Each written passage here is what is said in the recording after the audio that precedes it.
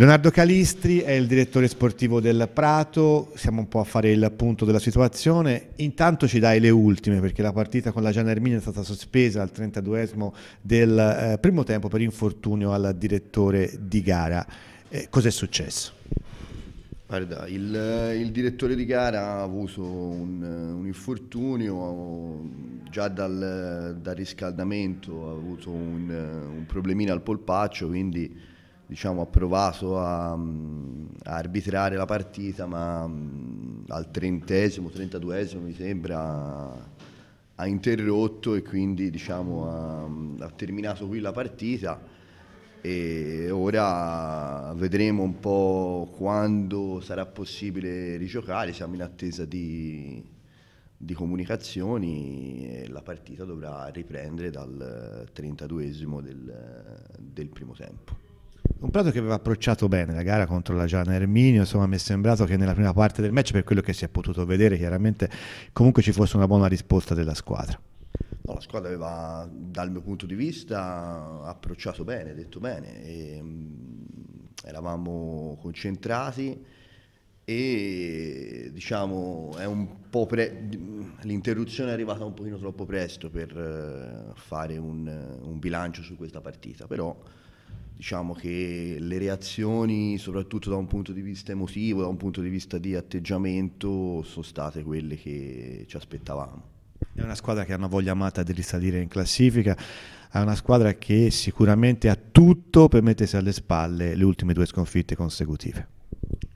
Sì, la realtà è questa, diciamo, la partita di oggi eh, ci vedeva di fronte a eh, una squadra prima in classifica che come noi viene da, da dei risultati non positivi e quindi, come avete visto, anche loro erano erano un po' in difficoltà. Quella partita di oggi era una partita importante per tutte e due le squadre. Per noi, per certi versi, perché avevamo una grande voglia di tornare in campo subito e purtroppo è successo quello che è successo e quindi, come ho detto, siamo pronti a diciamo, andare avanti anche eh, con questa difficoltà, poi vedremo quando la recupereremo sarà probabilmente un'altra partita e quindi ci dovremo calare in questa, in questa realtà e vedremo un po' come, come approcciarla. Ora eh, purtroppo è, è, andata in questo modo e, e quindi dobbiamo subito concentrarci su, sulla prossima partita. Prima di lasciarti le domande dei colleghi presenti qua in sala stampa, vediamo anche il bicchiere mezzo pieno, l'infortunio di Diego Mobilio, quello di Trovale, due giocatori che quindi potranno essere sicuramente recuperati e concedere due giocatori così alla Giana non era proprio una cosa semplice.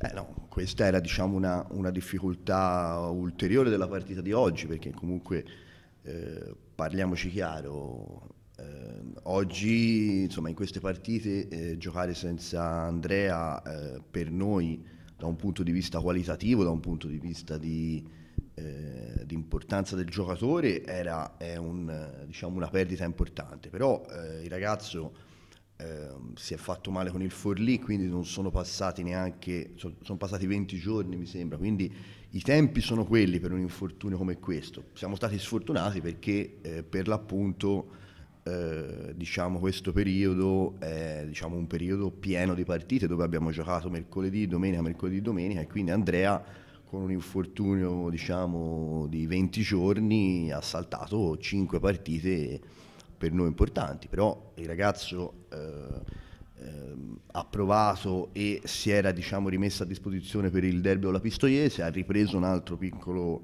colpo sul ginocchio, quindi oggi non era a disposizione, ma ehm, è un, un infortunio che diciamo può smaltire in una, in una, settimana, una decina di giorni. Poi è sempre difficile parlare di tempistiche certe, però siamo ottimisti che il ragazzo sia eh, sulla via diciamo, del ritorno e per noi è un recupero importante. Come quello di Giordano oggi aveva un piccolo problema, abbiamo deciso di non rischiarlo per non compromettere, diciamo, eh, un infor- cioè per non creare diciamo, un problema maggiore. Oggi Giordano aveva appunto un problemino e abbiamo deciso di, di non rischiarlo perché diamo fiducia e abbiamo fiducia anche in tutti, tutti, gli altri ragazzi che oggi erano in campo e quindi stavano facendo una, una partita gagliarda e quindi abbiamo bisogno di tutti. Le domande dei colleghi presenti qua in sala stampa, comincerei da Roberto Nardi, Prato Reis, la sua domanda al direttore sportivo del Prato, Leonardo Calistri. Allora passo un po' all'aspetto dei tifosi che sono un po' delusi dopo le ultime due sconfitte con il Salso Maggiore e la Pistoiese. Oggi c'è stata diciamo, una prima forma di contestazione, hanno disertato il primo tempo che poi dopo non è terminato. Ecco, cosa si sente di dire la società ai tifosi? Allora, eh, mi sento di dire che eh, la protesta eh, sicuramente è una, è una, diciamo, una, forma che il tifoso è libero di, di esprimere. Eh, devo dire però che ehm, lo striscione parla diciamo, di programmazione, parla di programmazione e eh, in questi termini eh, dobbiamo essere tutti uniti. Dobbiamo essere tutti uniti e quando parlo di unità eh, intendo eh, tutte le componenti che girano intorno al prato, tutte le componenti che eh, vogliano bene a questa società, perché è vero che abbiamo fatto due, due sconfitte, ma eh, vorrei ricordare che eh, prima della partita con il Salso Maggiore il Prato veniva da una serie di risultati importanti, una serie di prestazioni importanti, quindi dobbiamo dire che eh, i primi a non essere contenti degli ultimi risultati siamo noi. Il Presidente, se c'è una persona che deve essere arrabbiata in questo momento, è il Presidente prima di tutto. Come lo sono io, come lo è l'allenatore, ma noi abbiamo tutti grande fiducia nel mister, grande fiducia nell'allenatore, cioè nell'allenatore come ho detto, grande fiducia in tutti i ragazzi, grande fiducia in questa società e io lo posso dire perché la vivo tutti i giorni e vi dico che questa è una società sana, una società che programma, è una società che ci mette tutto. Quindi, ripeto, dobbiamo essere uniti, uniti e, e per unità appunto tutti, da giocatori, la società, il magazziniere e anche i tifosi. I tifosi devo dire che in questi, in questi mesi, in questi anni sono stati la componente che non è mai mancata e quindi noi li ringraziamo. Però, ripeto, soprattutto dato che parliamo di programmazione, dobbiamo essere tutti, ripeto, tutti uniti.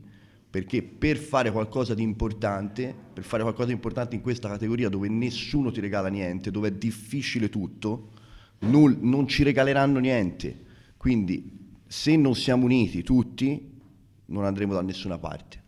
Quindi questo è il messaggio che deve passare. La società c'è, sento dire la società, manca la società, la società c'è, siamo qui tutti i giorni, tutti i giorni.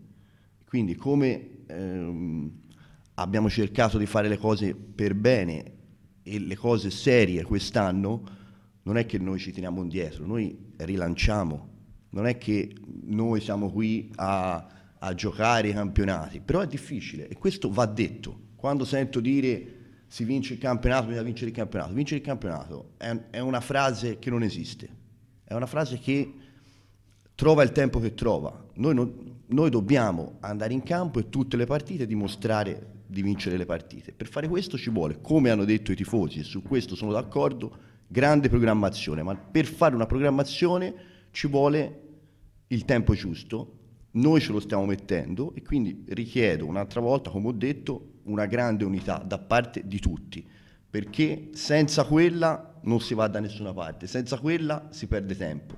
Quindi ri- ribadisco un'altra volta il concetto, la società c'è, l'allenatore c'è, i giocatori sono con noi e si sta creando qualcosa all'interno dello spogliatoio, con l'allenatore, con la società. Quindi io vi dico, ci vuole entusiasmo, ci vuole fiducia, se no Ehm, senza entusiasmo, senza fiducia senza unità non si va da nessuna parte.